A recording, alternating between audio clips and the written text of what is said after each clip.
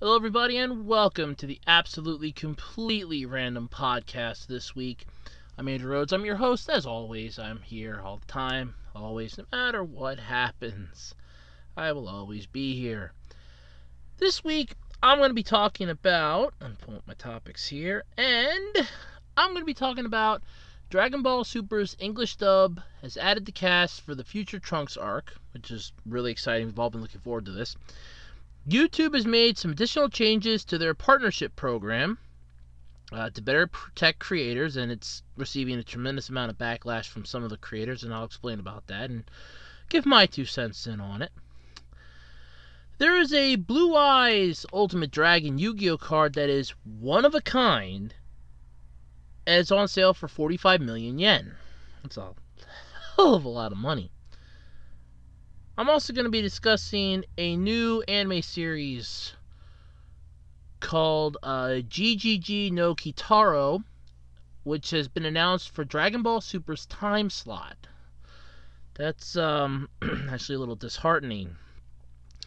And I'm also going to be discussing a little bit about Dragon Ball FighterZ because I've been seeing a lot of the clips and I kind of have some I want to talk about. All this, maybe more, you never know. This is a random podcast. Anything can happen here. But, as always, you know the drill. ARHOADS hyphen 2012 on eBay for all your collectible needs. I should just do a jingle and it just make it so much easier. Uh, but yeah, if you're in the mood for collectibles, oddities, weird knickknacks, what have you, check out A Roads 2012 on eBay. A Roads hyphen 2012 on eBay. I have a weird variety of all strange things like you wouldn't believe. I am trying my best to get new stuff up. it is difficult to do when you have part-time job and you work on the podcast, you work on other videos, you work on other stuff. It does take it is time consuming because you got to do research on it to figure out what you want to set your price at, make sure that it works. If it's something that's like has to turn on or something, make sure that you at least know what's wrong with it. Um, if it's a movie or something, know if there's any damage to it, make sure it plays, stuff like that. That takes time. And time, sadly, is something that I seem to keep running out of, but I'll explain. So, anyway, uh, like I said, you know the drill. A R H O A D S hyphen 2012 on eBay for all your weird oddity collectible needs. And don't forget, you can also follow me on Twitter at Otaku Roads. so, I guess we should go with how was my week. Well, uh, for starters, I actually got to enjoy vacation. Yes, I did. Uh, I got a nice uh, week off because of inventory, and apparently I've caught a cold. Personally, I think I've been having it for a while. It's just finally uh, gotten to the point where it can build itself up and just affect me to the point where now I'm starting to feel a little miserable. so, you may hear me blowing my nose and coughing a lot during this week's podcast. Um, yeah, this is the 20th, by the way, so just want to throw that out there. Um, yep. Yeah, but I can actually give you what's coming up in the upcoming week. Well, uh, unless it changes, I have to do an overnight trip for work. Yay, to do more inventory. I have to do inventory for another store on Wednesday, then ours on Thursday. And in between there, I actually get to have some time off to myself, hopefully, to have some peace and tranquility. Hmm, yes, still looking for another job yet, too. Um, otherwise, um, got some plans for the channel that I want to do later this year. Got some stuff that I'm working on. This and that ad infinitum, so on and so forth. But how have you been out there in the audience? I want to know how your weeks are. Let me know in the comment section below how your weeks are doing. Then again, you don't have to tell me. It's fine. You know, I give it ebb and flow here. I tell you how I'm doing. I, you know, I'm just curious how most of your weeks go. I mean, we had a nice little snowstorm here. Two of them right in a row. One minor, one major. So pretty good. I got my uh, thing of high C fruit punch here to drink. That'll hopefully help me feel better. Hopefully. Doubt it though, but hopefully. But anyway, this week's been kind of dull. I just mostly relaxed. Um, worked on some stuff that I was uh, thinking about doing and some other things, but that's about it. But anyway, well, let's jump into the podcast. Let's get this on so I can get some sleep. Uh, hopefully, try to feel better. But anyway, let's just keep on, keep it on, and let's do this. Ah, Dragon Ball Super. Doesn't seem like enough time goes by when I'm not talking about you. For those of you out there that don't know, Dragon Ball Super is what I what I and a lot of fans would like to consider the actual continuation of the Dragon Ball Z saga. I personally like it. There are fans that hate it. I personally think it's cool. I could care less what a lot of the other fans think. You know, I care what I think. I like it. That's all that matters to me. Well, the English dub has finally gotten up to the Future Trunks arc. Now, I did talk about the uh, filler arc that they had in between that uh, got me excited because uh, it had the original Vegeta from the Ocean dub uh, doing the voice of Clone Vegeta, which I thought was kind of cool. And I, I want to state this, though, for this, they kind of had a wasted opportunity here. But I'll explain. So, uh, David Gray and Garrett Schenck are set to join the cast for the English dub of Dragon Ball Super for the Future Trunks arc. Uh, David Gray will be joining as uh, Zamasu, and Garrett Schenck as Gowasu, uh, respectively. Eric Vale, Colleen Clinkenbeard, I do apologize if I am pronouncing her name incorrectly, are also reprising their roles as Future Trunks and Mai. Eric Vale will be Tr- Future Trunks, and Colleen will be Mai. Both characters are sadly missed so much. And Sean Schemmel, the voice of Goku, will be voicing Goku Black. And this is where I kind of have a little. Um, I think this is where they had the wasted opportunity with this. They could have done this with the actual. Like, they brought the original voice actor for Vegeta out of from the Ocean dub. They could have gotten the original one of Goku from the Ocean dub for this. That would have been kind of cool to have that one being the, you know, darker version of Goku. But I can see their point with this, but still wasted opportunity and whatnot. So, uh, Dragon Ball Super premiered, as we know, back in Japan uh, July of 2015. Funimation's English dub uh, premiered on Adult Swim back January 7th of last year. And the first 39 dubbed episodes are posted to Funimation's streaming service uh, in December. It's going to launch additional 13 episode batches two weeks after the final episode of the batch airs on Toonami. Yep. So you can find this, it's out there. But this is just like a massive thing here uh, Dragon Ball Super is really getting strong in Japan. But this kind of ties into something else then too, because rumor has it that it's going to be ending in March, and it kind of leads into the next topic or later on in the podcast when I'll explain it. But it is kind of sad at the same time, and I understand why. But this was something that I had marked about beforehand that it would be a stupid idea to do, and in all honesty, I kind of agree with that. Yet the statement that I made to this day, I still agree with it. Um, but yeah, so it's not really that bad of a series. I like it. Uh, right now they're in the uh, Universe Tournament arc. It's still going on yet. Uh, Goku and Vegeta are about to uh, take on Jiren together, both of them using their most powerful forms that they can master. Goku in uh, Kaioken Blue, or Super Saiyan Blue Kaioken, and Vegeta doing his all power unleashed form, which is pretty cool. I'm looking forward to this fight. It's going to be interesting. So, yeah. So, for those of you that have been waiting for the future Trunks arc, congratulations, it's on its way. It's about to happen, and oh boy, is it going to be good. Very, very good. Alright, so, YouTube, wonderful YouTube Oh, great and powerful YouTube. They decided to make some additional changes to their uh, YPP or YouTube Partner Program uh, to better protect creators. This entire thing comes about after, and I really want to, I really don't want to blame two people for this, but everyone in the community is basically saying that this is the main reason why they're making more changes for this is because of the Logan Paul and PewDiePie incidents. I'm not going to get into details as to what they are because I don't care. And I want to stress that point right here, right now. I really don't care. I said it before.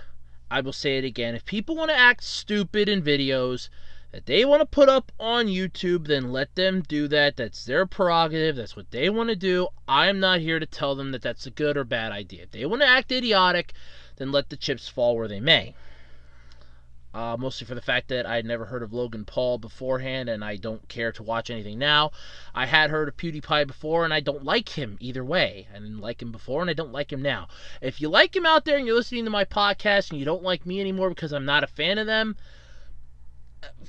I'll miss you, but in all honesty, I'll be sad if that's why you don't want to listen to me anymore. But like I said, I want to explain why I don't care.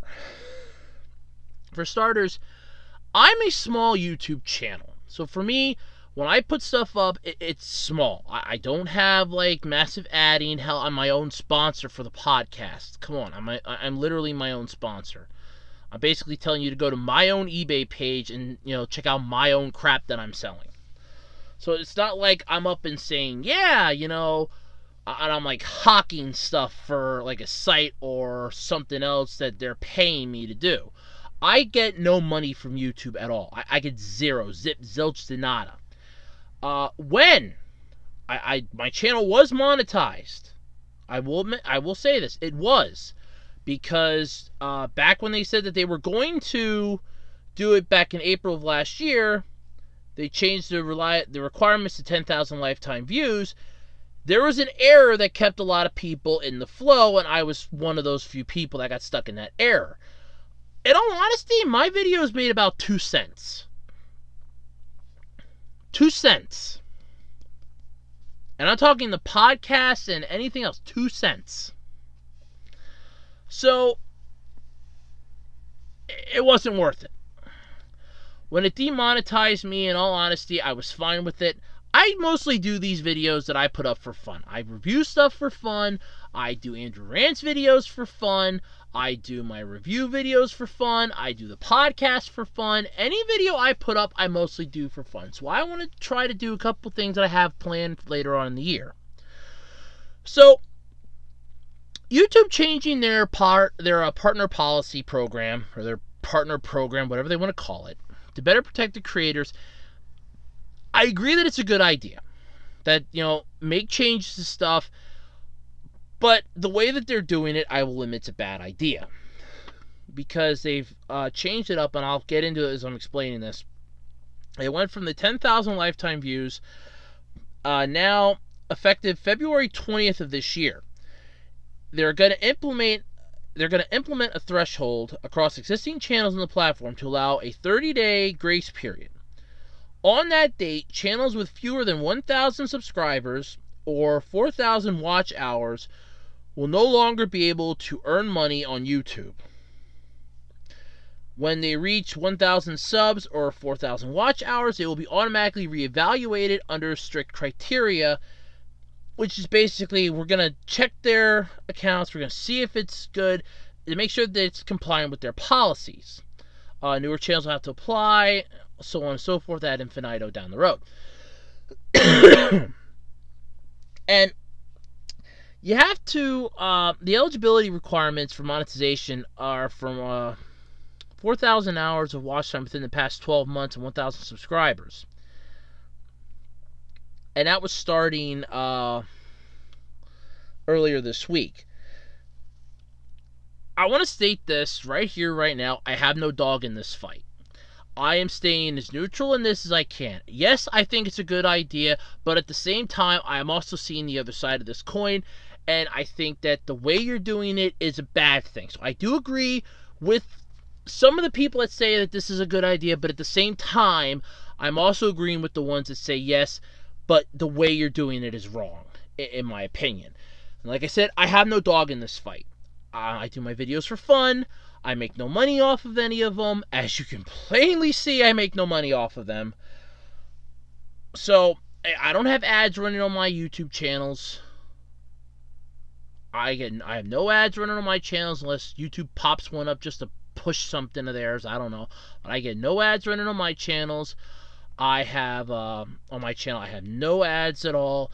I'm my own sponsor for my podcast, and I still work a part-time job, so I can tell you how well this is working out. Just like my, um, you know, associate's degree that I have. I have yes. Here's a little bit you can learn about me. I have an associate's degree. Yes, I have an associate's degree. And it mocks me every single day when I have to leave to put up boxes and stuff at a retail store. It mocks me and laughs at me and points and laughs the whole entire day. Because I spent a year and a half to get that degree, and it basically mocks me every single day. So, yeah, that is, you know, on that. But the thing with this is that a lot of the um channels and the creators are annoyed.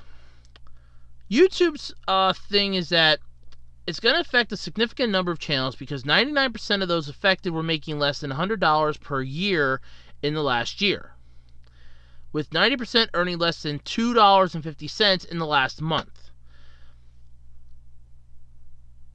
So, in all honesty, what they're doing is they're trying to get rid of the ones that don't have a chance to get to the ones that do have a chance. But, and this is where I'm saying I see both sides of the coin. Yes, that's a good idea.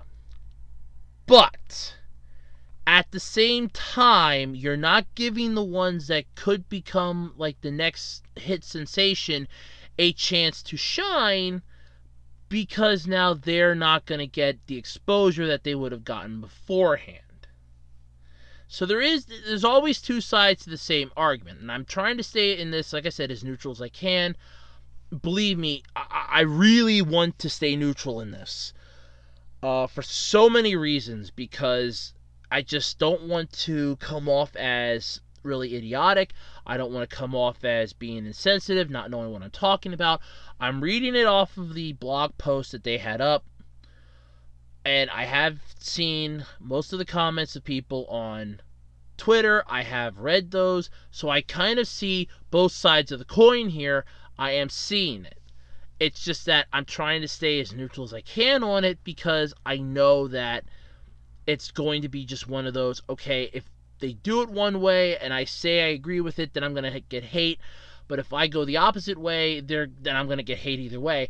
And I'm trying to not, I'm trying my best to avoid that. So YouTube says that one of its core values is to provide anyone the opportunity to earn money from a thriving channel.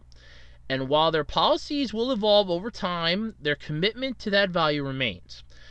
Uh, those of you who want more details about this change or haven't yet received this new 4,000 hour slash 1,000 subscriber threshold uh, can continue to benefit from the Creators Academy, their help center, and the resources on the creator site to grow your channel.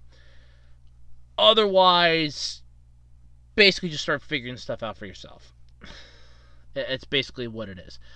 Um, even though 2017 was a challenging year, thanks to creators like you, it was full of the moments that make YouTube such a special place. Uh, creators large and small, established and emerging, transformed, established and emerging, transformed their talents and originally originality into videos that captivated over a billion people around the world. They made us laugh, taught us about our world, and warmed our hearts.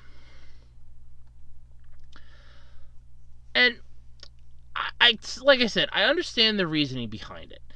They want to try to distance themselves from having any more incidents like PewDiePie and Logan Paul.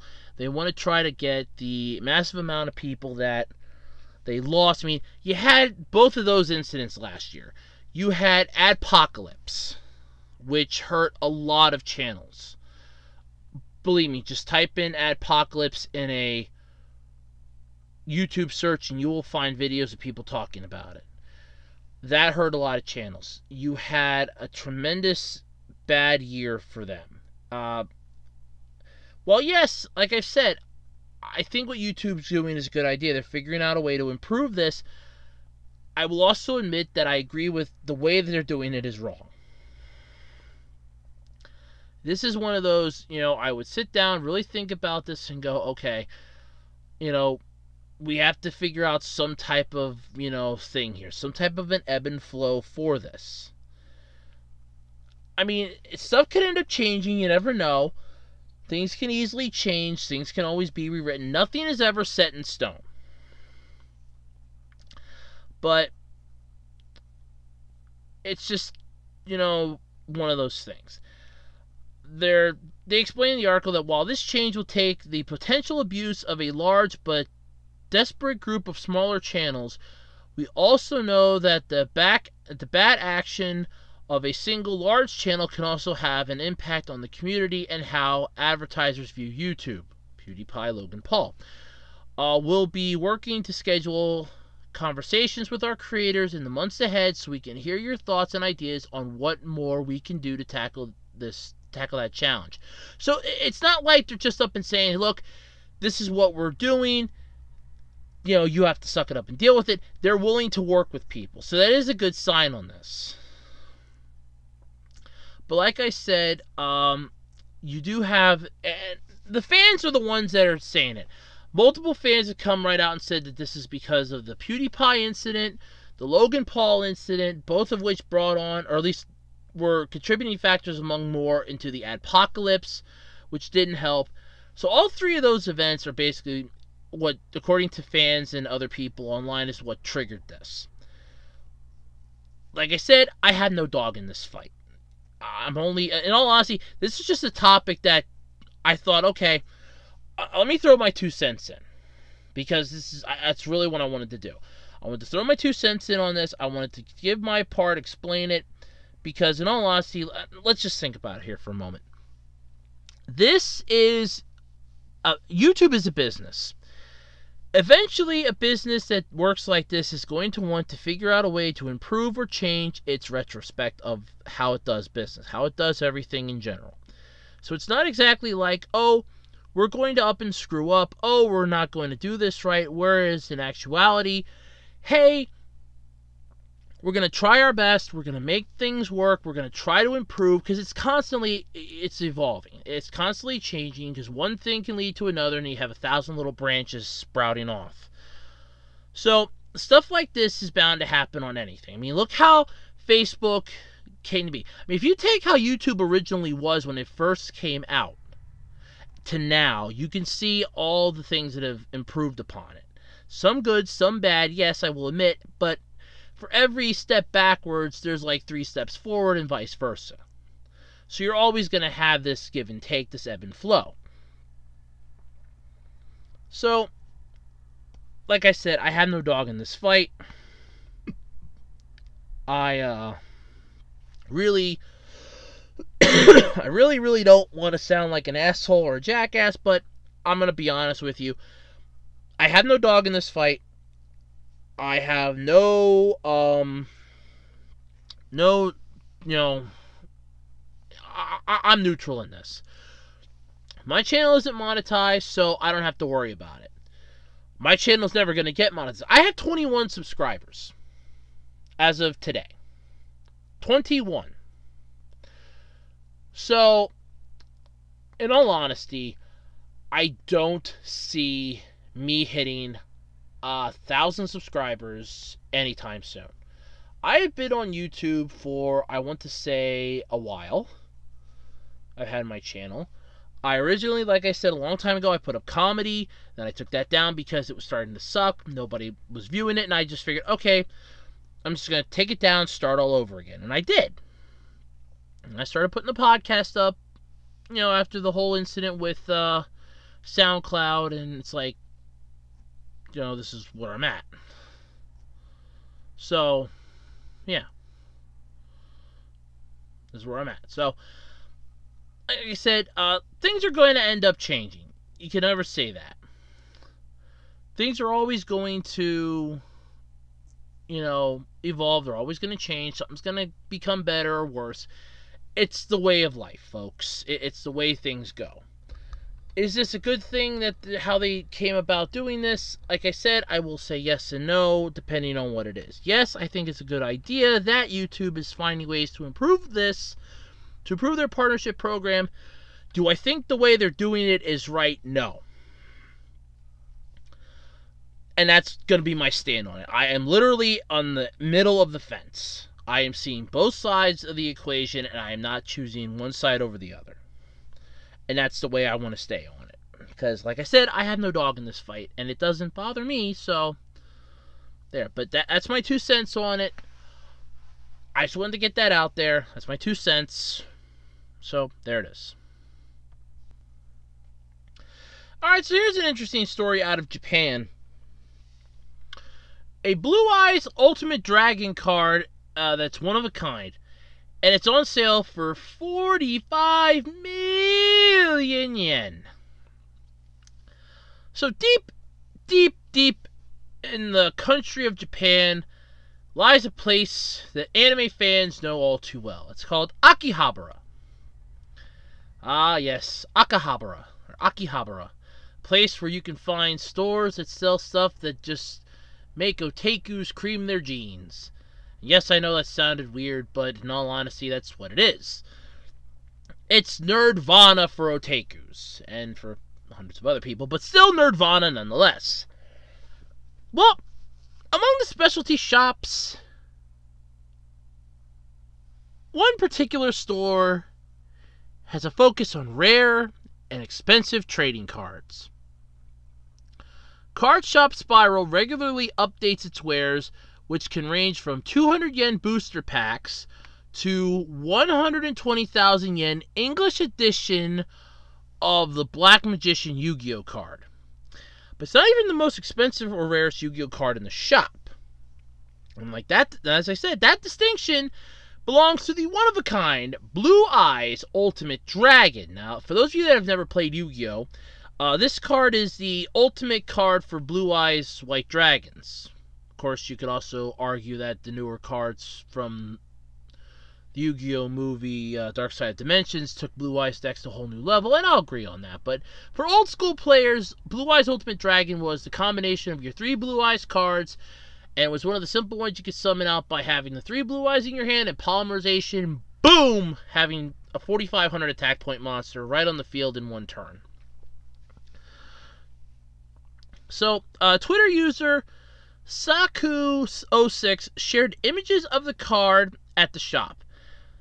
Uh, this version was once the prize for the Asian Yu Gi Oh! Championship winner, as evidenced by the card's accompanying, accompanying case.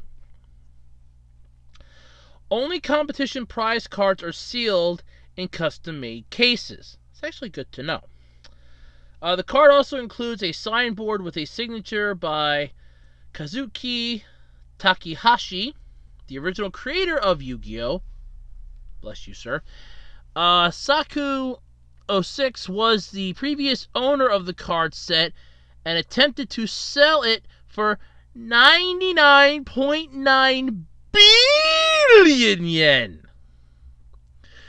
Billion! Which comes out to $904 million American. Holy crap. And that was back in 2016, so that was like two years ago. Holy crap! Apparently, there weren't any successful biters, and the set is now at the Card Shop Spiral, or at Card Shop Spiral, for 45 million yen. For those of you out there wondering, that's $400,000. Yeah, that's a lot of money. So, so the Twitter user was the original owner of the card set, wanted to sell it. First off, you're asking an astronomical amount of money. That's almost like um, somebody that doesn't know anything about eBay or selling stuff online and that figures, oh well, I can get like six hundred dollars for this. I can get five hundred and fifty for this, or I can get a thousand for this. Whereas A, B, and C are only worth maybe five bucks, six bucks, and two bucks, and that's all you're gonna get for them. So asking 99.9 billion yen, it's almost 100 billion yen. Why don't you just go for the even 100 billion there, jackass? For starters, I would have just went for the 100 for the easy 100 billion. Less taxes and that would have screwed you up. I would have went for the easy 100 billion. And that was back in 2016. You wanted to sell the car. Now it's at Card Shop Spiral because you didn't have any successful biters. Which, first off, no duh comes to my mind. And now it's on sale for way, way under what you originally wanted. Well, yes, I don't see anyone paying $400,000 for a Yu Gi Oh card, even if it's one of a kind. I don't see that happening. Hell, even Tyler the Great Warrior card, that was that Make a Wish Foundation collaboration for that kid, I don't even see that going for $400,000. I don't even see that going for a $100,000. I could never even see that leaving the kid. Hell, I think the kid will be buried with that card, to be honest with you. He's like a teenager now or an adult. I don't see that, in all honesty. I really don't see that card ever leaving its, you know, owner's hands. I see the owner dying with that card in their hands being lowered into the grave along with that person. I don't see that happening. But I just find it ironic that everybody's like, oh, well, you know, this and that. But they think that they can get so much money for stuff like this. It's one of a kind. Okay, that means it's one of a kind. That doesn't give you the right to try to set what you want it to go for. You have to think logically here for a moment. First off, if you're able to get 45 million yen, million yen for starters here, in a shop that can sell up to 120,000 yen to 120,000 yen English edition. English, mind you, not Japanese. English. This is with actual words, not kanji. English edition of the Black Magician.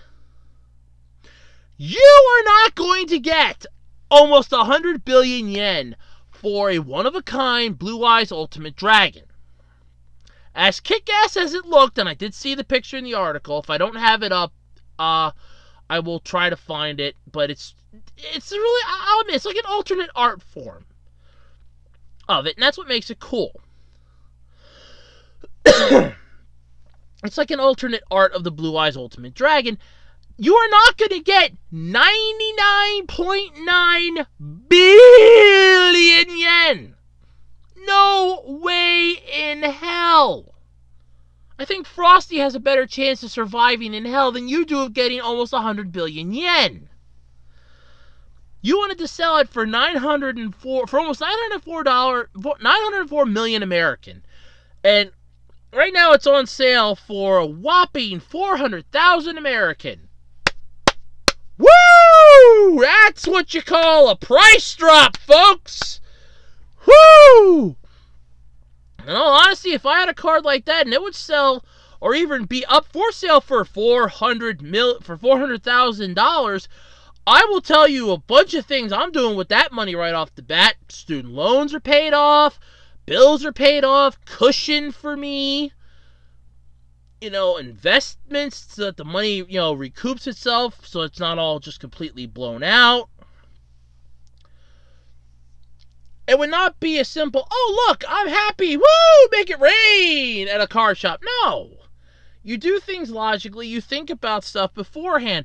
But you wanted uh, Saku 06. You wanted almost a hundred billion yen. Are you insane? Well, you must be if you wanted that much. Holy crap! That's insanity. You wanted that much money for a freaking trading card. For a freaking trading for a trading card. Granted, okay, it's a championship, and I can hear that argument, but it's a championship card. That means it's really cool. It's only awarded to the champions. Yeah, check eBay. You want to know the kicker? A lot of those championship cards can find their way on eBay. They will still have an astronomical price, but check eBay. Because a lot of times the champions will get, you know, tied up or get hard up for money, or they'll just go, ah, I don't want the card anymore, and they will pop it up to see what it will go for. I guarantee it. I've seen a few of them from past tournaments that I've read about on eBay, and I've seen a couple of them on eBay. They and they're not the reprints. They're not like, oh, it was part of a set or something. No, it was the actual card from the tournament on for sale on eBay, huge amounts of money. They command huge prices. I mean, there was a person that bought a bunch of the Crush Card Virus cards off of the other competitors from one of the tournaments because it was only given to X amount of people, and this person suddenly had three of them. It's like that answered the question of, oh, well, how'd they get that? Oh, they bought them from the other people. Oh, well, that answered that question then. But anyway, so if you ever find yourself in Akihabara, check out uh, the Card Spiral or Card Spiral store. Stupid name for a shop. But anyway, it, then again, let me put it this way. If you're ever in Japan, just check out Akihabara and, you know, in general. Card Shop Spiral. Okay, that's what it was called. Check out Card Shop Spiral if you ever find yourself in Akihabara. But in all honesty, if you ever find yourself over in Akihabara, do yourself a favor and check out Akihabara and period. Well, just check it out in general. And then again, if you ever take a trip over to Japan, check out Mount Fuji because that site is something that you cannot get a good picture of, and no picture in the world will ever do it justice. None. No painting, no picture will ever do that scene justice. I'm sorry. Never, never, never. Okay, so earlier I was discussing the wonderful thing called Dragon Ball Super, and I kind of have this topic that ties along in with it to a point. So that uh, Kitaro anime uh, series is planning a. Uh, it's going to be an anime. It's featuring completely new cast. They announced in a video on Friday that a new television anime based on Shigeru uh, Mizuki's Gegege no Kitaro uh, manga will premiere on Fuji TV at 9 a.m. on Sunday, April 1st. Now, first you're thinking, well, it's just an April Fool's Day joke. 9 a.m. is the time slot for Dragon Ball Super, because that's what it's currently um, occupied. Toei has not announced, though, whether or not Dragon Ball Super will end or move to a new time slot. Now, this is where the, this article gets interesting because I can actually branch off of this. Earlier this week, I was reading a topic or reading a comment or post from somebody on Twitter uh, talking about how Dragon Ball Super was going to be moving to Wednesdays but there was no proof or evidence to back it up. And earlier uh, today, I was reading a topic about somebody going, well, Dragon Ball Super's ending in March. And the rumor that's having as to why it's ending is not ending like, okay, it's done. It's ending like a hiatus. And the reason for this is what pisses me off a bit if it's true. Because if it's true, while yes, I understand why it would have to be true, why you want to do this, but at the same time, I'm just really, you know, if it's true, it officially gets an Andrew Rance video.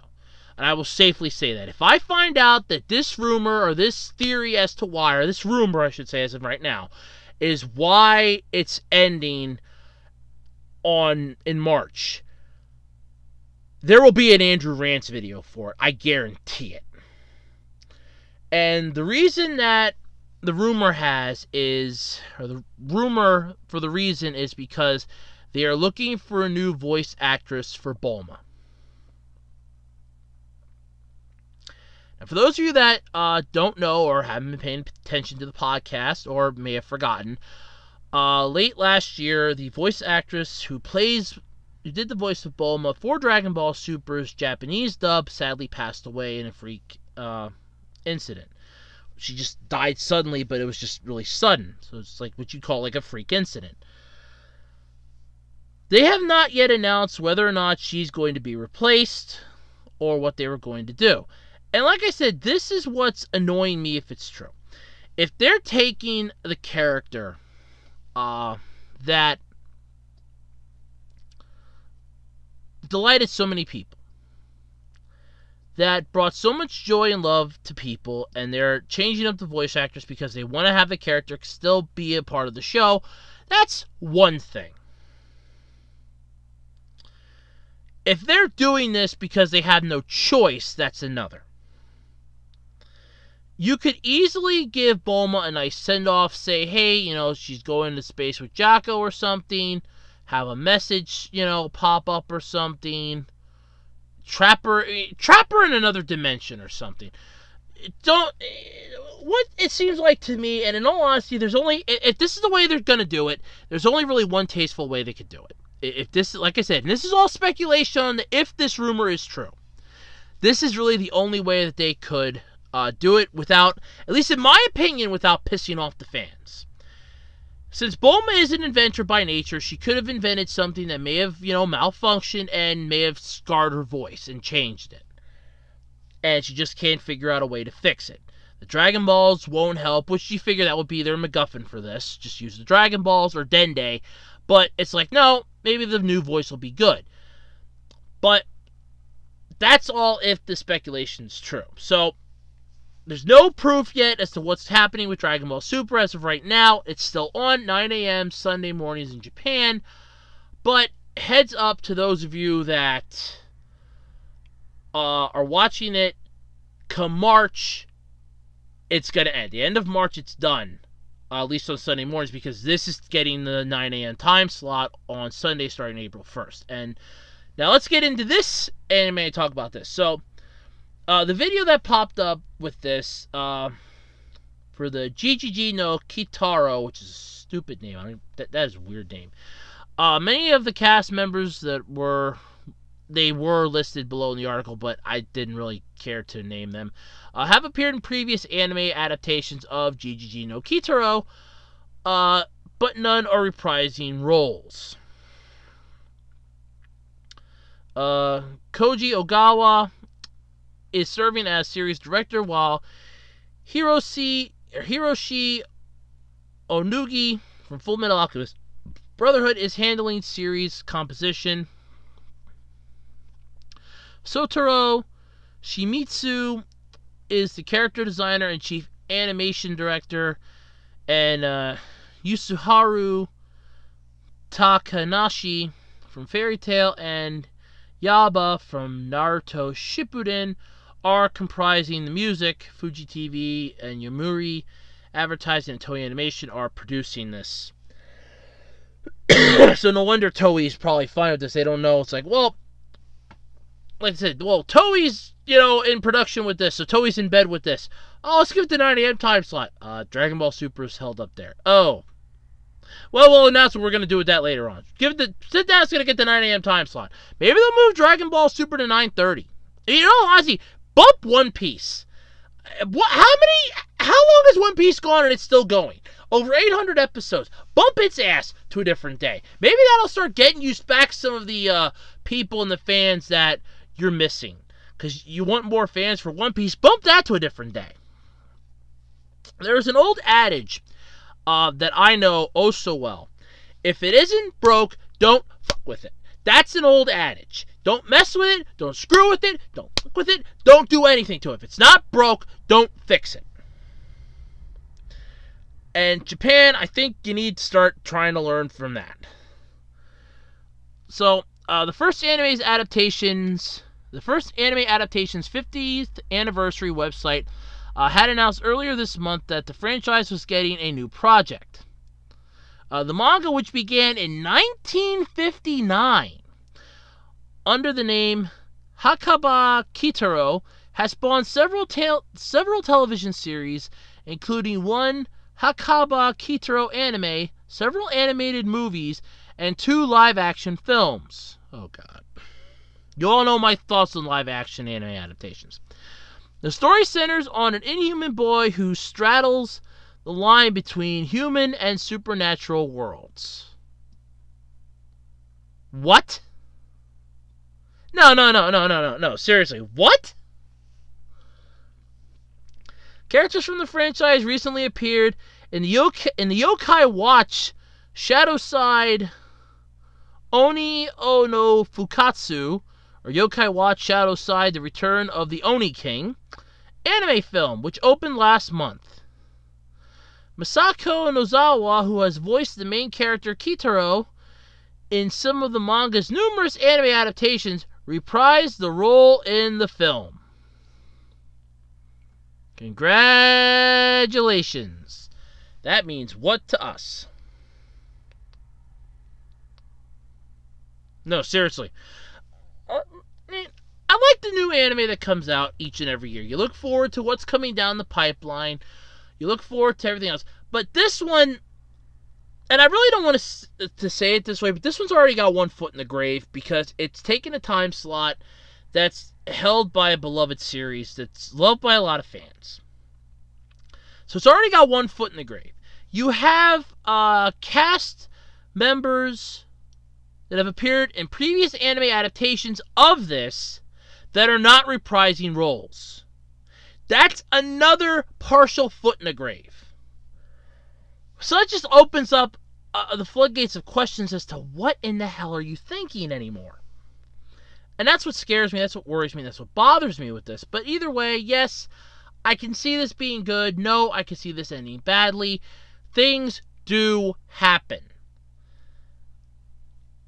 Maybe I'll check out an episode, see what it's about. It might be good. I, I don't know. I've never heard of it before. I, I'm being honest. I know a lot of anime. I've never heard of this before. Then again, it, the manga began back in 1959, for starters. I wasn't even born yet. That's 30 years before I was even born. Hell, that manga isn't even 30 years old yet. No way. It isn't even 30 years old yet. I'll be hitting 30 years next year. I turned yeah, I'll turn 29 in August this year. I'll be 30 next year. I haven't even heard of it. So that'll be 60 years old by the time I'm 30. Wow! It turned 30 the year I was born, and it's going to turn 60 when I turn 30.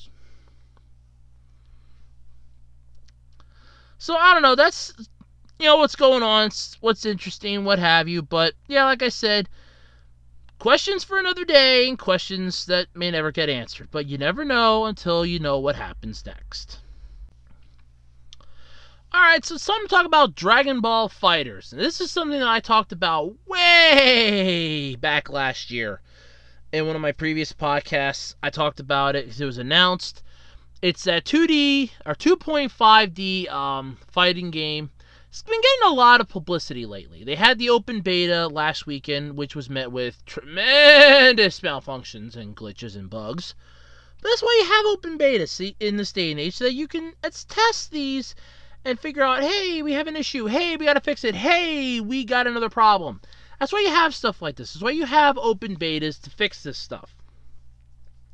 But anyway, uh, one of the things with this was a lot of the fans are excited for how it looks, how it feels, the fact that it's basically introducing a new character, sort of an original storyline, which, first off, as much as I hate to do it, I do admit I will agree with uh, Team Four Star with this. All the previous Dragon Ball games that we have gotten have followed the storyline. You are literally playing an episode of the anime series, either from Dragon Ball, Dragon Ball Z, or GT. Ugh. I know, I know, I I know. It hurts every time I think about it. But anyway, you're constantly just playing one of the episodes or in the case of some of the games, the quote unquote movie. While, yes, there are some that kind of give you the ability to branch off and unlock different things, Budokai Tenkaichi 3 being one of them that immediately comes to my mind, where you can play as a future Gohan and take on Trunks, uh, Kid Goku, and get. Uh, you take on different characters with different characters, and some of them, depending on what it is, you can actually unlock uh, different things that they'll say before the fight or after the fight, which is actually kind of cool. Like if you take on, if you have a future Gohan, future Gohan take on Goku, you can have Goku ask him why he's so sad. And it's really impressive. But Dragon Ball FighterZ has gotten a lot of stuff, and I've been seeing a lot of Easter eggs for popping up. Basically, stuff that's taken from the anime series. Like, you have uh, Yamcha's death pose. You know, with his, oh, you know, when he got, you know, kamikaze by the Saibaman. By the Saibaman. Um, you have Goku taking on Frieza and turning Super Saiyan. Gohan going Super Saiyan 2 against Cell. Gohan blasting Cell with the one-handed Kamehameha wave. Goku using the Spirit Bomb against Kid Buu. And what's interesting about this is that I'm kind of wondering with this if there's going to be like some type of an achievement or something that, hey, look what you can unlock if you, you know, like unlock each of these like little bonus you know, Easter egg things. Like, oh, we're going to unlock, like, okay, you unlock Goku turning Super Saiyan. You not only unlock that clip, but let's say that that gets added to, like, something down the road where you'll get to unlock, like, a really powerful character or an alternate form form or something. Like, oh, now you get to battle as Goku, the end of Dragon Ball Z, you know, like with his blue gi instead of his orange one, and you can battle a Super Saiyan, you know, Goku that way, like a color swap palette down the road. Or like you unlock like a secret level or something where you get to take on like hyper powered forms of each of the opponents to you know prove that you really are the strongest. Like let's say you get all the Easter eggs, like you unlocked all the little video extras, and you beat the game.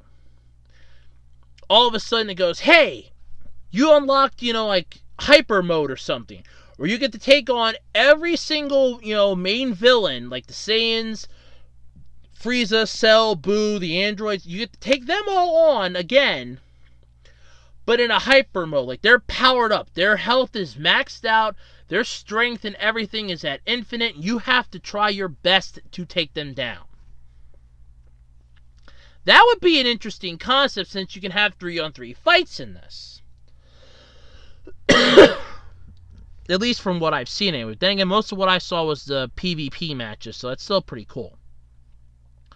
But anyway, again, like really way off on that stuff. But from what I've seen, it looks pretty good so far. I mean, I don't have a system to play it, so I'm not interested in getting it. Though, if I, really wish I would have something to play it on. This is that game just looks like it's so cool. But it's just one of those, okay, I'm fine with it. Hey, it's going to be cool to watch, see the uh, storyline and everything else. Looks cool, for starters. I think it looks amazing.